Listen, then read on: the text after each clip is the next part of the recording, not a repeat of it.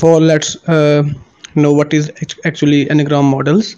So n-gram model is basically uh, it's all about predicting the nth word from n minus 1 words.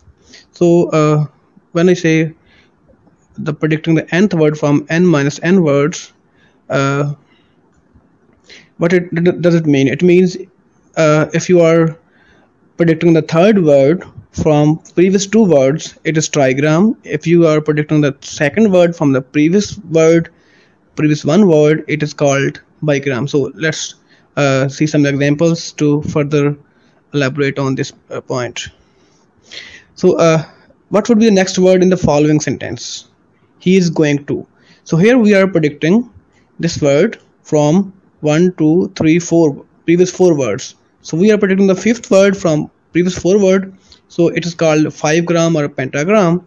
And uh, similarly let's see this example. Uh, in the following phrase here we are predicting the third word from previous two words. So it is called uh, trigram. And uh, trigram or 3 gram. And similarly what would be the next word in the following phrase? Here we are predicting the second word from the previous one word so it is called bigram a 2 gram so so this is actually the uh, n-gram model where we try to predict the next word from previous words.